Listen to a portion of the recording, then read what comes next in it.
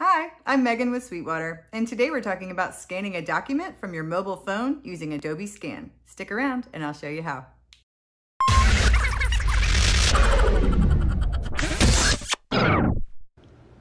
Okay, welcome back to our Adobe Scan tutorial. First of all, let's go to the App Store and type in Adobe Scan. It's gonna be that little blue app right there with the white swooshy A. I've already downloaded it, so I'm gonna hit open. Okay, and then it will prompt you to allow the app to use your camera, which I've already done.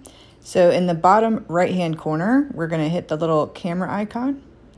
That's gonna bring up the camera and then hold your phone over the document you wanna scan and just hold it steady. The phone will do the work for you.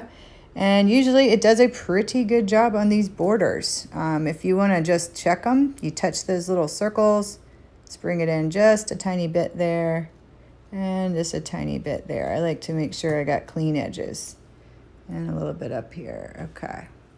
Perfect. We look good and straight here. So then on the bottom right, we'll hit continue. Okay. Now, if you were going to scan multiple pages, you would keep scanning right here. See it looking for a document. But instead, we are going to hit the bottom right, little picture of the scan we took. Okay. And then um, if you needed to recrop, you look on the bottom menu. You can hit crop again if you need to, or maybe you need to rotate it. You can click that little rotate to flip it around if it captured it the wrong angle. Um, or you can hit this color right here. If you wanted to make it black and white, just click on grayscale, and now you have it in black and white. I like the color better. We're gonna go back to color. Okay. And then cleanup right next to color in the bottom right-hand corner. Maybe you had a mark or a crease or something you wanted to take out. You just take your finger and just color over it. And it's gone, just like that. Now, maybe that was a mistake. You didn't mean to do that. So if you look at the top, just off from the right, it's like a reverse arrow that'll bring back whatever you just got rid of. But I did like it better. It looks cleaner. So we're going to take it back out. Okay, in the top right hand corner, the blue check mark, we're going to check that. And there we go. Our document looks good like I want it. And before we hit save, we're going to hit that little pencil right next to the date on the top of the document here.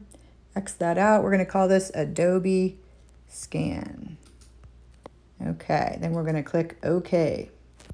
Perfect. And then top right hand corner, save PDF in blue. It's going to render the PDF for you. Alrighty. And then from right here, if you wanted to maybe make any adjustments or rename it, you can click on more and you can modify, rename, print, delete it, whatever you need. But we are gonna hit share. And then I'm gonna hit share a copy on the very bottom here. And now I can text this someone or I can email it. Um, I'm gonna hit, scroll that up some and hit save to files and got my desktop already highlighted. I'm gonna hit save, replace. Okay, perfect. And there you go. We just scanned a document with our phone using Adobe Scan. And there you have it. Once again, I'm Megan with Sweetwater. As always, thanks so much for watching. I hope you enjoyed it. Uh, if you found this video informative, give us a thumbs up. Make sure you go down there and subscribe and ring that gray bell so you can stay up to date with us. And hey, throw us a comment. Let us know how we're doing. Till next time, take care.